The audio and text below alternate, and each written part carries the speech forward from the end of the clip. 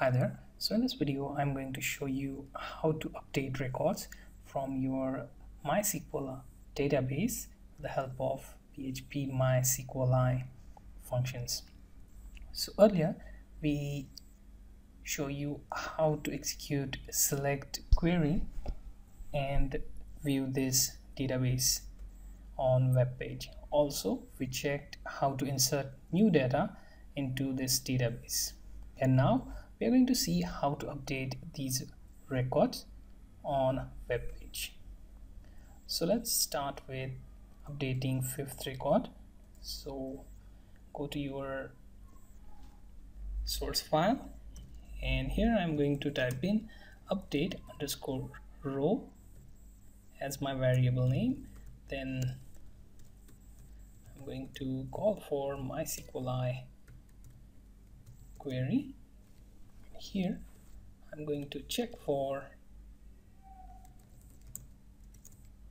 update underscore test table. So this is our update query which will check test table and then set let's say name to something like this one let's say age equal to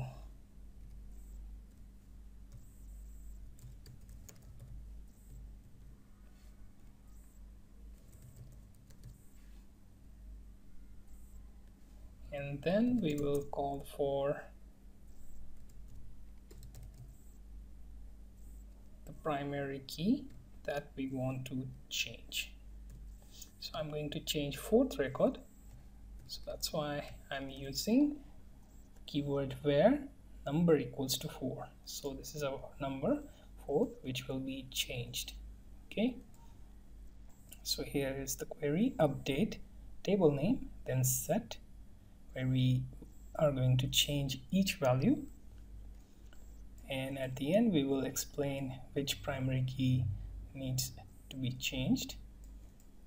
Okay and after that we will simply use if condition. Call for update row. Here I'm going to echo data updated. Okay. Also another echo to add some break.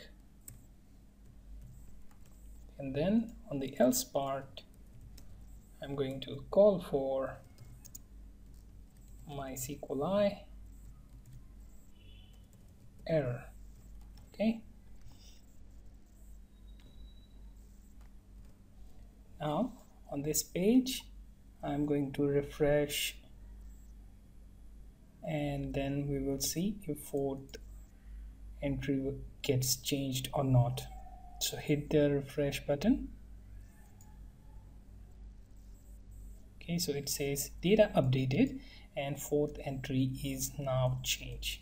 How to update your table with update record query.